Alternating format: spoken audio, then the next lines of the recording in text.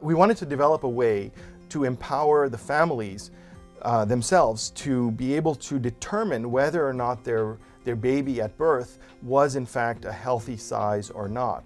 And in a, in a population where about 50% of the babies are low birth weight, that becomes the norm. And so it's difficult then for families to make that call as to whether an infant is small, too small uh, to survive on its own without immediate and appropriate care in that context. So one of the things we've developed is this, what we call a baby square. And it, it's a proof of concept that we're currently testing in the field where we basically put on, a, on an inexpensive cloth mat a, an outline of uh, an infant with the words mata indicating head or pa indicating foot. And we asked our field workers to train families to just place the baby in this uh,